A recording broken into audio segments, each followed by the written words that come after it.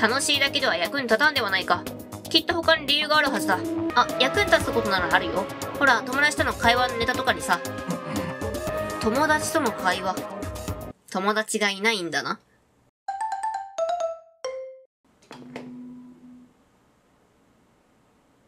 お前ら、おはようございます。朝です。7時になりました。起床時間ですよ。さて、今日も張り切っていきましょう。おー。さてと、まずは食堂に行くとするか。ふんふん。朝ごはん大事。でもあれやな、朝ごはんはちゃんと食べよるっぽいけどさ、昼も夜もなんかあんま食べよる感じじゃないけど、そこは何、自由？バラバラ？朝だけ集合して食べるんかなして向かった毎朝恒例の食事会。だけど、何？これで全員か。なんだか随分と少ないな。昨日の言葉通り、そこには戸上くんと深川さんの姿はなかった。またこのテーブルが広くなってしまったな。でも深川さん元気そうやったよ。あ、戸上くんも、なんか、イライラしとったけど。3名もの犠牲者が出た上に、ボイコットが2名も出てしまいましたからね。5人もいなくなったら、広く感じられて当たり前だね。最終的に何人になるんやろうえ、本当に1人まで絞られてしまう感じかなでもその場合確実に主人公が残るよね。え、主人公死ぬパターンある？でもさ、戸上はともかく、深川ちゃんを呼びに行ってあげた方がいいんじゃない？リアルな話いいって、あいつ神経臭いし。さらりと冷たいこと言うのですね。まるで氷砂糖ですわ。なんで氷じゃなくて氷砂糖なの？いいかね いや、氷砂糖は冷たくないぞ。甘いのだ。そんなことよりも問題は戸上の野郎だ。あいつは放っておくと本当に人を殺しちまうぞ。ありゃそういう目だ。そうかな？冷静におると思うけどな。あそこは人殺しそうな感じせんよ。まあ、ここもせんけどさ。やっぱ縄とかで縛っておくしかねえだろ。それはやりすぎじゃ。その通りだここはなんか微妙に殺しそうな感じせん？なんとなく。この暑さ。そうだぞ、和田くん。こういう状況で一番怖いのは身内同士の暴走だったりするんだ。ほら、学生運動の頃の話にもあるじゃないか。なんかああいう、歪んだ正義みたいなのを押し付けてきそうな気がするもん、あそこ。何が運動会だ？縄で綱引きでもするつもりか？ここはなんか、いかにもヤンキーって感じ。ね、多分、普通にいいやつなのでは。てか人を殺すとかはしないのでは。さては君は。バカだな。誰がバカだとあれどうしたの藤崎さん？元気ないけど。自己嫌悪中なんだ。自己嫌悪？昨日戸上くんに言われた時怖くなっちゃって何も言い返せなかった。結局は大和田くんに助けてもらって。しかも弱い者いじめなんて言われて。本当にダメだよね。弱っちくてさ。大和田のせいで落ち込んじゃった。俺のせいか？つうか俺は悪気があって言ったわけじゃねえぞ。大体よ。女なんだから弱くて当たり前だろ。えその発言は？この子絶対男やって。ほらほらほらほらもうかわいそうに。絶対男の子やけんこの子おめえ泣いてんのか。もあんたがでかい声出すからじゃん。泣くなって悪かったよ。もう怒鳴ったりしねえからよ。ほん。と怪しいんですけど。そこまで言うなら。だって男の約束をしようじゃねえか。男の約束？男の約束って大体男同士の時にやるもんやない。気づいてる？え気づいてないんか？女って言ったもんねさっき前にも言ったかもしんないけどよ。俺はガキン頃からずっと兄貴に言われてきた言葉があるんだよ。男の約束だけは絶対に守れ。それが兄貴が俺に残した言葉だ。残した？あ兄貴は死んだんだよ。そうだったんだ。そうだな。まあその話はよそうぜ。なんつうか締めっぽくなっちまうしな。つうわけで俺は絶対に怒鳴られねえからよ。だからおめえもなくなって。ありがとう。大和田くんえおおこれはなんか怪しげな感じがしてきたぞ。でも、あれじゃない？惚れるんじゃない？惚れた後に男ってことがバレてなんか逆上してもう早速なんか人殺しそうじゃないよねって言った説がちょっと私の中で崩れてきよるけど。でもこんなんじゃダメだよね。もっと強くならなきゃね。さっきのさ男の約束っていう文字色変わってなかった？変わってなかったかな。変わっとった気がしないけど。重要ってことよねきっと。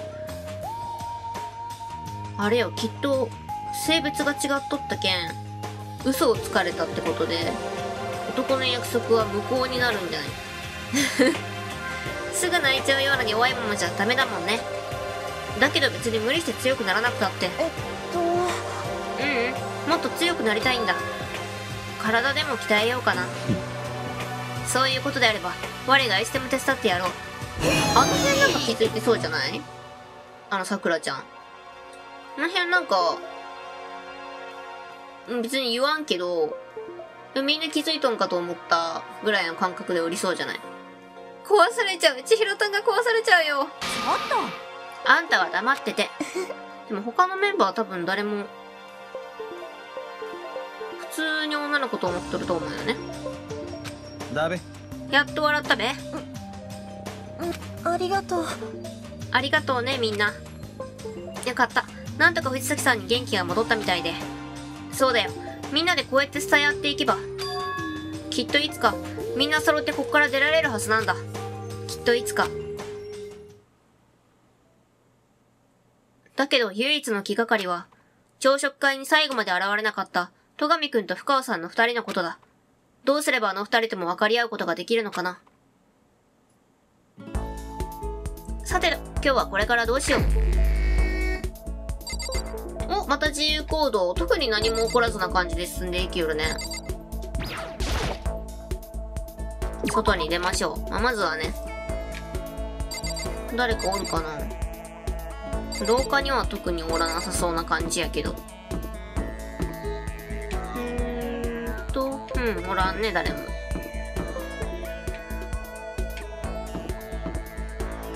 まだ食堂に誰かおったりするかな？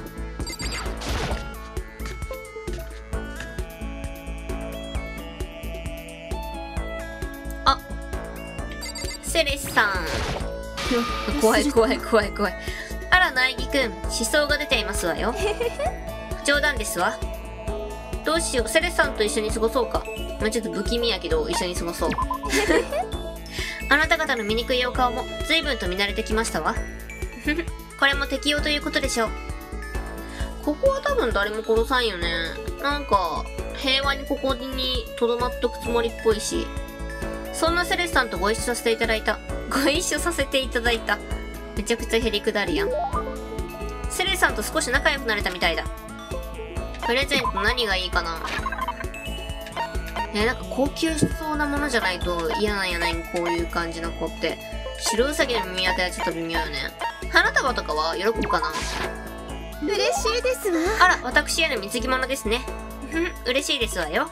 お、よかった。どうやら喜んでくれたみたいだ。えー、っとところで、ナイキくん。あなたは麻雀は好きですか？ううん、やったことないけど。そんなそうですか。残念ですわ。せっかくですからご一緒にと思ったのですが、私も麻雀は全くわからんな。みじんもわからんな。やってみようと思ったことはあるけど、何も理解できずにやめた。セレスさんは得意なの？そうですわねいえ、得意ってほどでもありませんが、以前命がけの勝負を行い、それに勝ったことならありますわよ。命がけの勝負？何？何か別のデスゲームに参加していたことが終わりで。そういうことではなく、命がけ？うん頭のおかしい金持ちの老人宅で行われた壮絶な勝負でしたわ。ほら、もうなんか別の作品とかにありそうな感じの。強運を持つ老人と悪魔と呼ばれる銀髪の少年が相手でしたわね。なんなんやろ何かのオマージュなんかな関係ない？なんかそういう感じのデスゲーム系アニメとか漫画とかあったりする？ルール自体も変わってて、なんだかガラスの灰を使ったような思い出が。それに勝ったの。ぐにょーっと歪ませてやりましたわ。二人いっぺんにね。何歪ませるって。私が勝つのが意外だったらしく、周囲もざわざわとしておりましたわね。カイジですか？でそういうことよねきっとカイジってことよね今のなえカイジに出てたんすか？セレスさんいい思い出ですわセレスさんとの麻雀ご一緒しないで本当に良かったセレスの通信簿に今の情報を追記いたしましたおめでとうございますスキルポイントが上がりましたなんかあそこに情報、通信簿に情報が追記されていくたびに、スキルポイントが上がっていきよるね。セレスさんの壮絶な過去にめまいを覚えつつ、僕は自分の部屋へと戻っていった。いちいち戻らないでいただきたい。せっかく食堂まで行ったのに。なぜ毎回毎回部屋出発なのか。ほら、まだ時間あるんやん。じっとしている気分じゃない。どこかに行ってみよう。なんで一回帰ったよ。外に出ます。さあ、あとは、廊下には誰もおらんのよね。びっくり、うー、びっくりした。めっちゃびっくりした、今。セレスさん現れた。やめてよ。そんな唐突に立っとくのやめてくれるかな。誰かおるかな。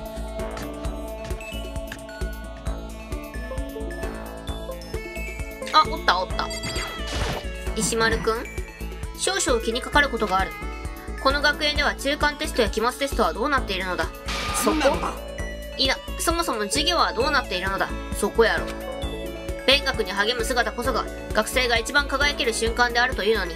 まあでもここから一生を出してもらえるんやったら勉強する必要もないんやけどね。どうしよう、石丸くんと一緒に過ごそうか。まあ作りしそうやけど一緒に過ごしましょうか。そうだな。たまには休憩でもするか。僕の入れるお茶は美味しいぞ。はっはっは。ここでお茶入れるの？ああ、びっくりした。食堂で石丸くんの入れたお茶を飲んだ。石丸くんと少し仲良くなれたみたいだ。何がいいんかな、プレゼント。うーんと、ポテチとかはない気がするんよね。なんだろうか。村正、光線銃、ズリオン、プロジェクトゾンビ、ペーガンダンス、防除棒、スモールライト。スモールライト？待って、普通に私、ライトやと思っとったんやけど、スモールライトなん。ドラえもんやんか。小さくできるんやろ、あれ。男のロマンは？はい。え、そのプレゼントは渡すことができません。重要アイテムですので。重要アイテム？何重要アイテムって？え、あれ、ガシャから出たよね、普通に。イベントでゲットしたやつじゃないよね。何重要アイテムって？え、今後ストーリーに関係してくる？もしかして、ガシャから、それを持っとったら何かしら選択肢が変わってくるようなアイテムが出てきたりするってこと？それか何かを回避できたりとか？え？ちょっと、よくわかってないんやけど、弾丸論破ってさ、マルチエンディング？私、とりあえず1個の、1個のエンディングに向かっていきようんやと思ったんやけど、どうなんやろ？違うんかな？えー、ないんですけど、どうよ？軽石は？うん、苗木くん、君はなかなか見どころがあるな。これからも互いにもっと交流を深め合おうではないか。少しは喜んでくれたかな。うん苗木くん、せっかくだからもう少し僕と話さないか？え、うん、いいけど。よし、では、いいかね早速討論するぞ。互いの意見を余すところなくぶつけ合おうではないか。さて、何について討論する？社会制度か、経済か、海外情勢か。いや、討論っていうかさ、普通に会話の、ん？普通に普通の会話をするんじゃダメかな。その方がお互いのこともわかると思うし。まあね、社会情勢とか言われても、ニュースも見れんしね。普通の会話とは何だ？えーっと、例えば、石丸くんってさ、普段は何してるの？行きたまえもちろん勉強だ。学生だからな。学生とは勉強のプロであるべきなのだ。それと、風紀委員の活動も忙しいぞ。僕は委員長だったからな。分かったか皆が勉学に集中できる環境を作るのも僕の役目なのだ。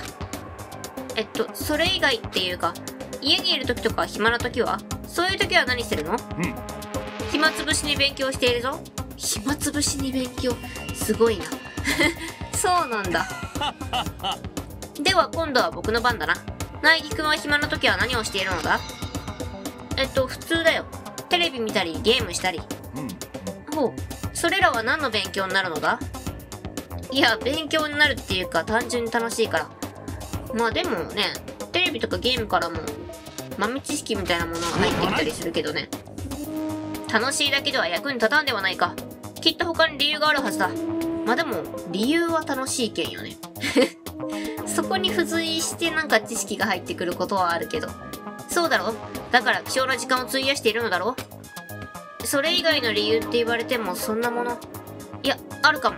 次の日にその話題でみんなと盛り上がったりとか。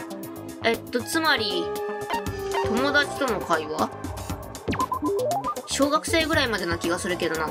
そういう理由で見るの。特に今ってさ、録画とかもあるし全然、じゃない？私、何曜日に何の番組があるとか全く把握してないんだけど。好きな時に見るけん。あ、役に立つことならあるよ。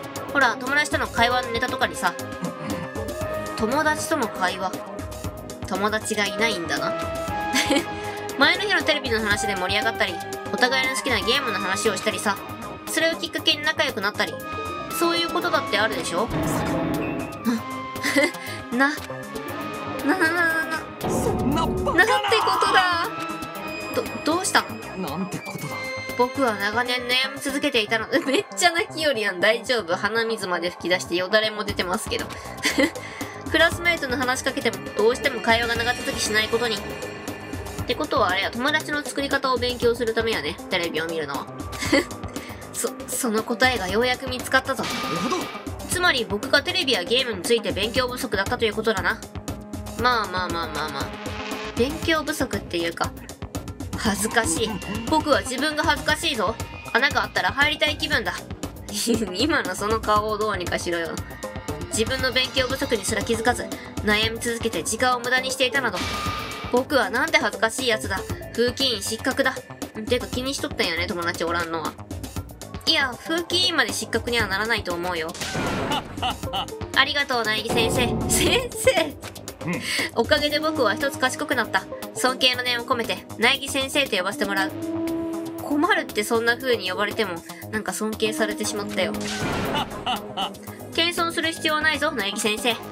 また僕に授業をしてくれたまえよ。それまでは自習に励むとする。まあなんか素直すぎて可愛いっちゃ可愛いけどね。それでは苗木先生、失礼させていただく。一方的にまくし立てた後、石丸くんはさっそう立ち去っていった。苗木先生って、まあ暑苦しいだけかと思ったけど、素直は素直やね。でもなんだか悪い気はしないかも。苗木先生。石丸清隆の通信簿に今の情報を追記いたしました。おめでとうございます。スキル、注目の発言力を獲得いたしました。丸くんと別れた僕は一旦自分の部屋に戻ることにした。これで二人行ったんかな？あ、夜時間や、夜時間。なんだかお腹が減った気がする。夜時間になる前に何か食べておこうかな。あ、まだなってないんやね。食堂でも行ってみるか。え、何か起こるんやない怒るっていうか怒っとるかもしれん。そんな普段と違う行動すんなって。何かしらのフラグが立っとるやろ。絶対死体とか転がっとるって。絶対転がっとるって。で、犯人扱いされるんやろ？また。空腹を満たそうと立ち寄った食堂。そこで事件は起きた。ほら、もう。